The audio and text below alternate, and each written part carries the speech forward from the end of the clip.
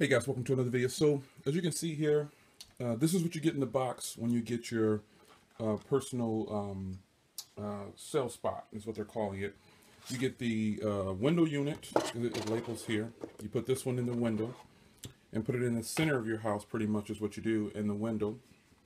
And then you go back and you put this one downstairs kind of in the center of your house and then you'll you'll see a dramatic change here in your in your services hopefully.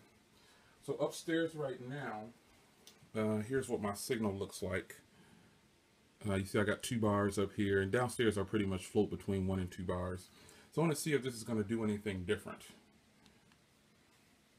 So I'm going to get this set up get it going and then I'll come back and sh um, show you my cell phone to see if there's actually any change or if I see a difference in call quality or anything. I use Wi-Fi calling now since um, I like how it is on the uh, the new iPhones and my iPhone 5s as well. So uh, I've been using Wi-Fi calling in the house. So I'm gonna set this up and I will be back.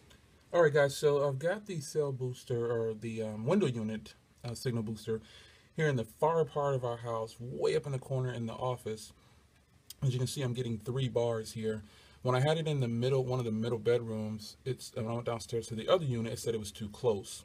So just a word of advice, you have to have them really far away from each other in order to, for it to actually sync up correctly. So um, I can settle with three bars over here because the signal is actually really strong downstairs where it used to be really weak. So let's go downstairs and then I'll show you where I've mounted the coverage unit. So I mounted the coverage unit right down here in the center of our living room. I'm going to actually move it down a little bit so those cables aren't showing. Uh, but uh, there it is. It's getting four, and this has been fluctuating between four, and there you go, four, five, and six, as I was getting ready to say.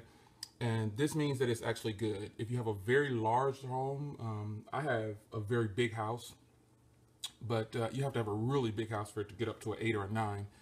But um, we have a really big house, and we're getting four, five, and six, which is um, as what the paperwork says we should get for the size of our house. So there it is. Signal is very strong over here. This used to be one of the weakest areas in our living room where we didn't have really good service. And now we're getting very strong service, four to five bars on every phone in the house. All right, guys, that was my demo of the uh, personal CellSpot. I will see you guys in the next one. Take care.